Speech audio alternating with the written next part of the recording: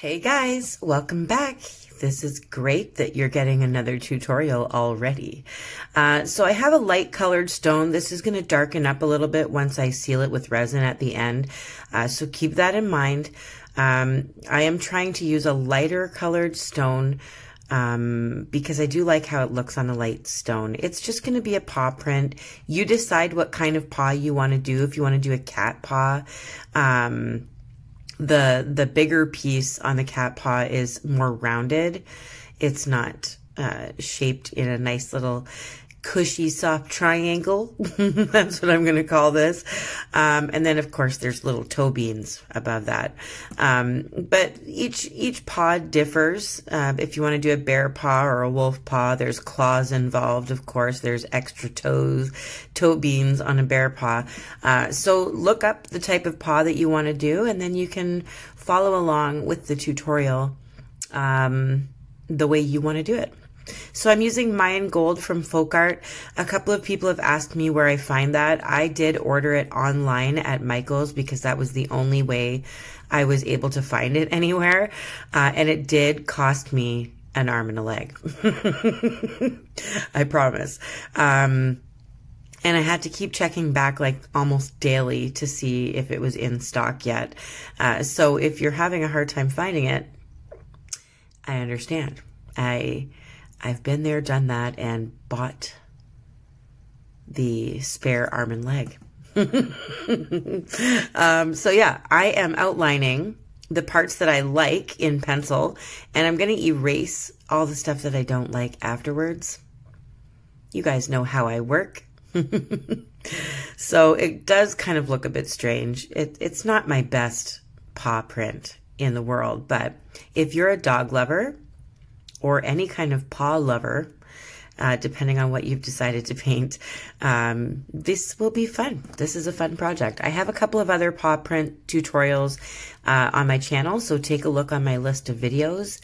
I have cat prints that are dotted. I have Zentangle cat prints, Zentangle paw prints uh, for puppies, uh, rainbow dotted paw print for uh, memorial uh, memorial stones for our beautiful puppies who may have crossed over the Rainbow Bridge.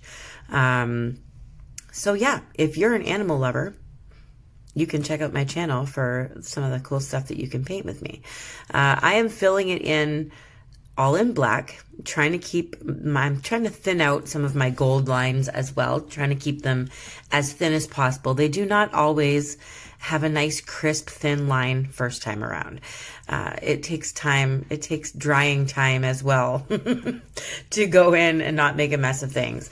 So I am just filling it in because what we're going to be doing inside of that is, well, what I'm doing is some flowers and some glitter because I didn't have glitter in my last tutorial.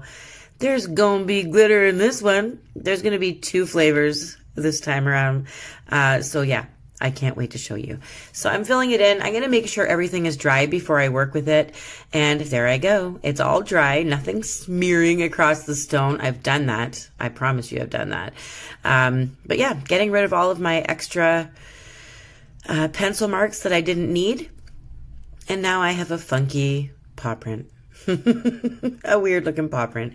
You want to make it big enough so that you can actually uh, create something inside where all the black area is, you want to make sure you have enough room to work with it. So this is a fairly decent sized rock. It's probably about five inches. And um, yeah, so I've filled up most of the rock with the paw so that I have lots of room to work with. So I'm just making sure that I have not ruined any of my gold line. Some of it disappeared, so I have to redo it. Um, but I do that a few times because sometimes things get out of hand. I will be using blending brushes um, and my fine lining brush, which is what I'm using now. Those tutorials will be in the description of this video. Um, if you hear anything in the background, that is my cat. He is sleeping on, um, well, it was an important paper box it's just a box that I put all of my pictures that Jackson draws for me. Um, and that is under my bed. It's snuck away so that nobody can steal my precious papers, my precious artwork from Jackson. but my cat has decided that he wants to sleep on top of that box under my bed. So if you hear anything, that is him adjusting and getting cozy. so now that I have the gold lines where I want them and they're fairly dry, I am doing a nice fine line there's my cat. He might be waking up. um, I'm putting a nice fine line of black around those little toe beans and around that little soft, squishy, triangular portion there. Um, yeah, I want to outline it all. If you are using a darker rock, you're not going to really see this outline. It just kind of crisps it up and cleans that gold uh, outline up a, a little bit. It just makes it more bold, I think. Um, but because I have a lighter colored stone, I am going to see that black outline even after I resin. So I'm just going to outline. Welcome back to my channel. If you're new here, I'm a little strange. Um, I'm a little quirky. I have some strange laughter and uh, weird terminology for everything. So welcome here. and uh, glad you're painting with me. Uh, today I am using a new Dragonfly glaze. It is 443. What did that say? Uh, good thing I have it right here. 44383. I will leave that listed in the description. It's kind of like hologram. It's got like a green, blue, teal shift. Um, but it is like hologram, only it's much finer. So it does have a very different look to it. You can use whatever kind of glittery black background. You can use whatever kind of glittery background you want. Um, you don't have to choose hologram. You don't have to choose this. It's up to you. If you don't want glitter, keep it black. Totally optional but I really like this. It's a very fine, fine glitter. Make sure you put it as even as possible. Don't leave like big globs anywhere because it will be noticeable afterwards. So right now you can't really see the beauty of it, but I promise, oh, oh, there you go. You can kind of see the beauty as it's drying. It looks gorgeous. I love it. So I am going to do a bunch of weird circles all over.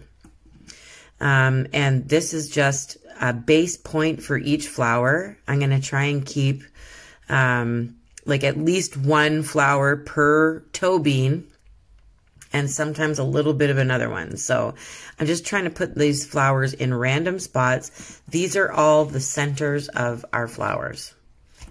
So my dragonfly glaze is dry and I'm doing simple, simple. It kind of reminds me of Morning Glory from, from the picture. Um, when, when I look at the thumbnail, it kind of looks like Morning Glories. So if you've seen those, this might kind of give you an idea of what I'm talking about. But it's just simple, simple, four petals on each one. Um, I'm going to be filling in those petals with purple. We're going to be blending in some blue. We're going to be dotting in some pink and it's going to look amazing. And then, of course, the centers of our flowers are going to be special as well. So I'm really excited about this one. You, you, you, guys know I'm using gold in pretty much every single thing that I do. And if you're bored of gold, I'm sorry. I don't know. Maybe it does just run in my blood. For some reason, I just love the look of gold. Um, so this has a lot of gold. and it's going to have lots of glitter and color. And there's my notifications. Sorry. Turning them off now. Right now. They're done. No more notifications throughout the entire video. it would also not be a Rachel's Rocks video if there wasn't some kind of stupid interruption. so I'm using some new paint that I bought. Um, it is Martha Stewart. It's like a dark plum, like a dark, dark purple. I think it's aubergine or aubergine. aubergine. Aubergine. Yes. It's a nice deep, deep plum color. It's beautiful. So I'm going to fill it in with paint brushes, but then I am going to use my blending brush to sponge it down, kind of like a little, a little sponge and give it a, a softer texture. So you'll see me go back and forth with two brushes and I'm just trying to fill it all in, get it outlined and just fill in right over top of the glitter. Like it's just easier. You can do the glitter afterwards, so you're not just doing the whole thing with glitter. Um, but it really is much easier to just do your whole your whole base coat first and work with whatever you have over top. So uh, do the glitter first. It's just my my tip to you, my friendly tip to you. So uh, it's going to be boring watching me uh, paint all of these petals in. So I'm probably not going to make you watch all of it. Um, I just wanted to see how everyone is doing. Is everyone staying healthy? Um, apparently Halloween is still a go in our town, but I'm not really sure if I'm going to send Jackson out. Um, I, I really just kind of was planning on having a pinata and he was going to beat the heck out of a pinata in the backyard. We could have a little bonfire and put our jackets on, have some hot chocolate. and it would be like, you know, a fond memory and and hopefully next year we're not so scared to go out for Halloween, I guess. Um, but you know, I don't know. Now I'm tossed. I'm tossing. My my brain is tossing. I don't know whether I should let him go out trick or treating or not. Um, apparently, it's still a go. I'm not really sure why. Anyway, I am adding some bright blue to this purple. And most of the purple is dry. So I'm going to add some Cayman blue and it's just going around the center and it's okay if we get messy and we go over the gold. It's okay if we get into the black area. I'm good with that. Just blend it out so it looks nice and soft. So the centers of our flowers have like this burst of blue and they almost look lit up so you'll see it. You'll see it in the end. The way the purple and the blue blend up together, it just kind of looks like there's a burst of light in the center of each one of these flowers. So you choose the colors you want to, and um, you don't even have to do the same type of flowers. You could do daisies, uh, little white and yellow flowers. You do whatever you want. Uh, this, I just really like the looks of these flowers, and they did remind, remind me of morning glories, which of course I do not see out in my gardens right now because it's fall, full fledged. We walked to school this morning in snow. it was wet snow, but some of it was actually like settling on the grass. And I'm like, no. Even my son Jackson, he's like, I don't like winter. I don't like being cold. I'm like, I hear you, buddy. I know. I've been a Canadian my whole life, and I still live here and still freeze my butt off every every year. Every winter is at least eight months. I'm kidding, but if anybody else here lives in Ontario, they know what I mean. Um, well, Northern Ontario. Now I have all my blue on my flowers and it's all blended, all smudged in nicely. And now in these black areas that we had, I got to make that good again. So I did blend over top of my circle. So now I kind of have to bring back the circle. This is the easiest way I know how to do this. Just do a big circle, a big blob, big blob, blob of gold paint and now I'm going to outline all of my petals again because I smudged over top of them. I'm going to let that gold blob of paint in the center dry. And then we're going to go back in with a black dot so that it looks like a little circle again. You'll see. You'll understand. There is a method to my madness. so everything's being outlined and cleaned up. Make sure your paw is still outlined around the outsides as well because sometimes we smudge around. We get out of hand with the blending and we make a mess. So we have to make sure we can fix that. Also, the black outline helps with that because you can go over with the black around the outer edge, even if you have to make it a super thick black outline. If you've made a mess, you can fix it. Just have to be creative about it. Now my gold is dry, so I can add my black dot. So it looks like we have our circles now. See what I mean? It does look like Morning Glories a little bit. We're going to change that up though by adding some pink dots. So each one, I'm kind of making sure that the gold is fairly thin and the dots, the black dots are fairly big. I want to see those big black dots there. So now I'm adding some pink. And this is literally just called pink. It's from Folk Art. It's number 413. Oh, pink rose. Okay, pink rose. Sorry, I was wrong. And it's just like a nice bright, almost like a bubblegum pink nice and bright and it looks super nice on top of that blue and purple. Like I said, you can do your flowers differently. You can choose different colors. Just get creative with it. You fill in your paw print with whatever the heck you want. You do you. So I'm trying to keep like the dots fairly small if it's a smaller flower. Um, and the dots are a bit bigger on the bigger flowers and I'm doing three lines of dots and basically just letting my dotting tool run out of paint. And as it runs out of paint, the dots get smaller. Sometimes I steal paint from other dots that are bigger and they're hogging all their paint. I steal from them. Instead of going all the way over to my paint tray, I just steal from other dots that have selfishly kept too much paint. do you guys do the same thing? It's a little bit strange, but that's what I do. It's what I do, and I'm not afraid to admit it. My name is Rachel, and I am a rock addict. All right, I am done that. That looks beautiful. Look at how bright they look. They look like they're they're turned on. There's a light in there, and they are turned on. so I'm outlining all of my petals in black making sure not to cut out any of the gold though. I really want to keep that gold there, but I'm just kind of separating each petal from one another by outlining. They stand out a little differently once you do that. See if you can take a look at what they look like before and then what they look like afterwards and see what you think. You decide if you want to outline them or not. I just do because that's what I like to do. Now I'm going to be using a UV light. You guys have seen me use this before if you have been to my channel for any length of time.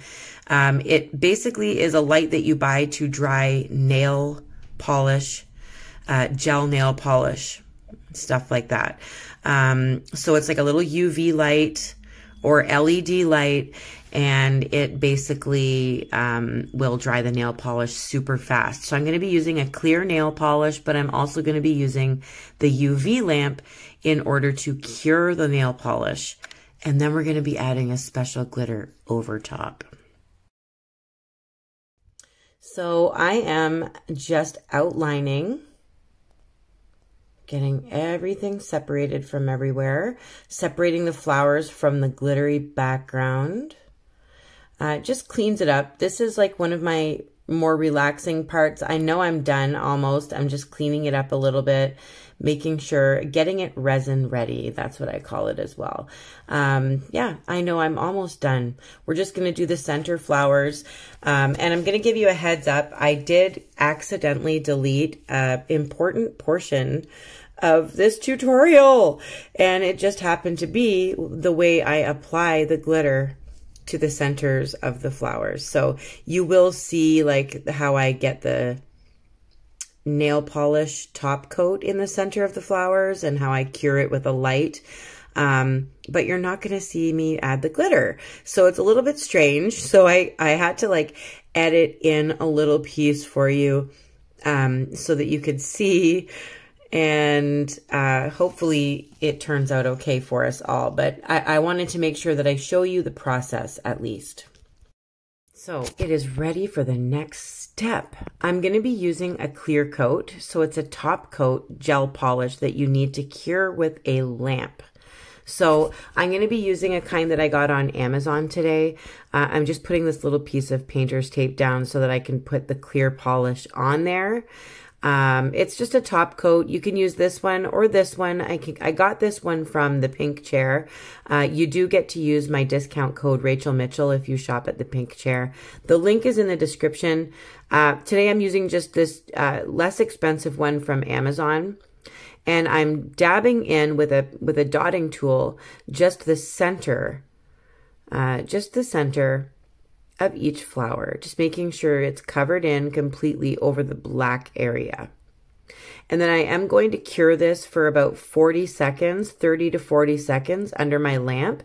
Um, now, it depends on the lamp that you're using.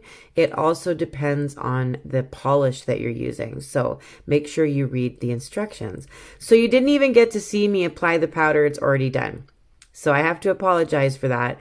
So I've brought this in to uh, edited this in a different rock to show you the process. So this is where we left off. I had it under the lamp uh, where you can see that glitter already. I've already done this process with it. Um, but I want to show you, like I said, exactly how I do it. Uh, just ignore the stone. Um, and this is what I've done on the paw print rock, just like I told you. So here's the holographic shimmer powder. You can buy this at the pink chair as well. Don't forget my discount code.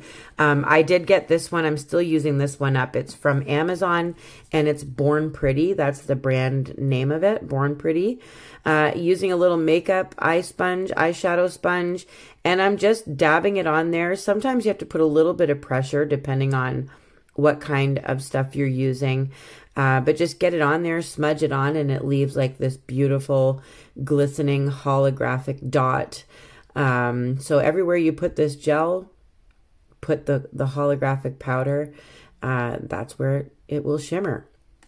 So I have, like I said, done the center portion of the stone, uh, and I'm now just doing the outer dots and I, I'm doing these outer dots exactly the same way that I did the dots in the centers of the flower uh, on, on the paw print. So I just wanted to make sure you got to see this process and that you didn't get left out of it all. So I'm going to let you look at that for a moment. I usually take a little fan brush and brush off all of the excess glitter get rid of all the extra stuff and uh, just check on everything, make sure everything covered the way I wanted it to. If not, just go over it again, put the clear polish over top and cure it again and then put the glitter on it and that's all you have to do. It's it's easy to fix if it doesn't all work properly the first time. So, and then now it's basically resin ready. And here it is. Look at those shimmering centers. Look at that background glitter from the dragonfly glaze. These, these little flowers do look like they're glowing a little bit. Um, and of course, it's a beautiful Lake Superior stone to begin with. So we still get to see that lovely stone, the natural color. Um, and it just goes nicely with this little paw print on there. I hope you guys really like this. Don't forget to hit subscribe and share the video with your family and friends. See if they want to make one too. Uh, you guys know how much I love and appreciate you. I love and appreciate every single one of you, even if you just clicked on this video to see what the heck I was talking about. I love you. And you guys all matter to me. So keep painting, and I will see you very soon. Bye, guys.